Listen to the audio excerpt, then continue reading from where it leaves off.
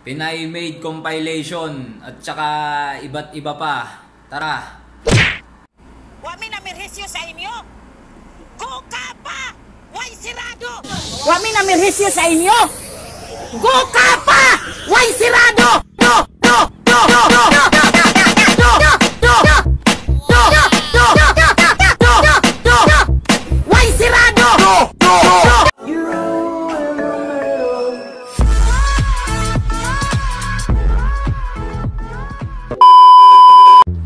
Mga kaboso, ayos ba tayo dyan?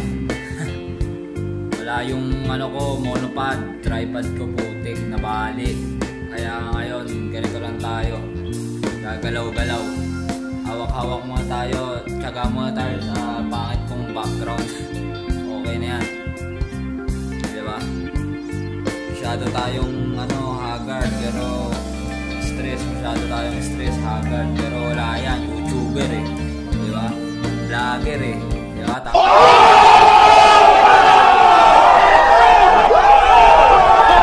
Tama. Kahit ano tayo, puyat, pagod, walang tulog, walang kain, makapag-vlog lang, eh okay na.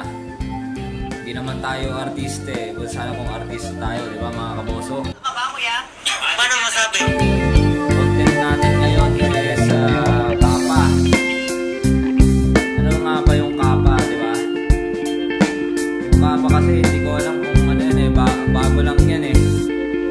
Mag isang taon pa lang yan ata o wala pang isang taon. Organi organisasyon to ng mga ano, yung parang sa Diyos, mga ganun. Tama ba?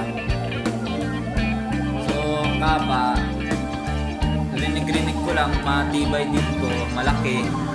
May 5 million na member ba o 10 million? Di ba? So, sinisiraan. Hinahanapan ng kung ano-anong mga butas.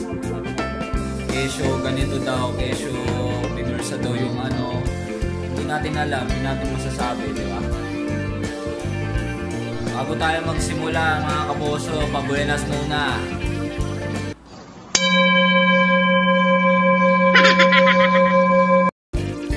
Buena sa kalbo kong ulo.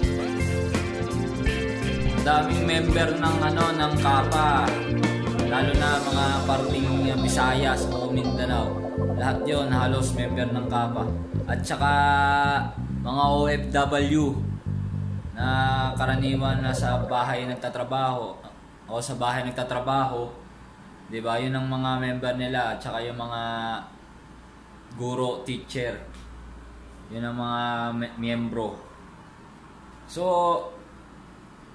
kahit sinabi nila na scam to, na pinasara ni Pangulong Duterte o ng mga iba't ibang ano dyan, spekulasyon sa Pilipinas pinasara.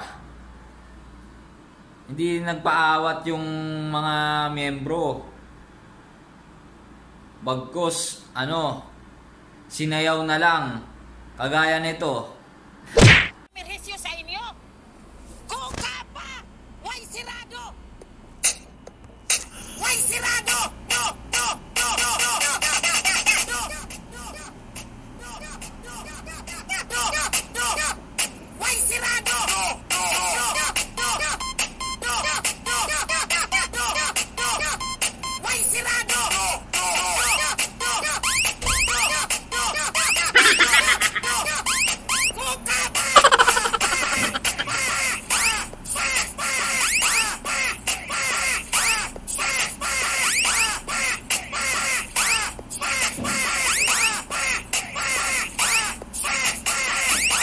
dinaan na lang sa sayaw imbis na magmukmok, magalit o magwala o magharas ng tao, sinayaw na lang, dinaan na lang sa sayaw. Ito, tingnan nyo, panoorin nyo. Wami na merhisyo sa inyo.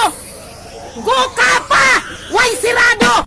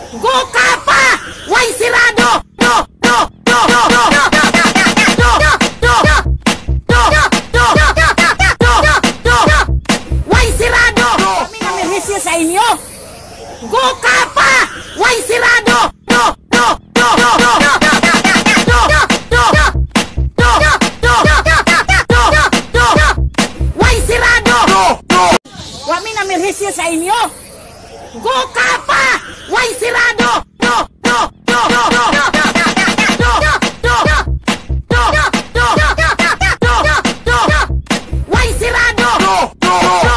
Wamina merece.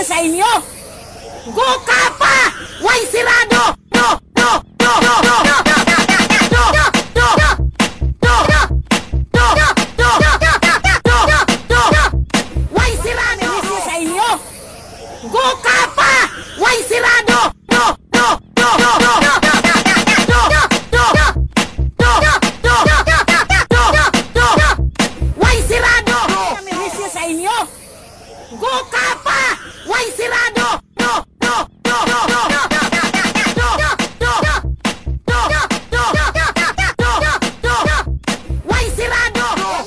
siya sa inyo!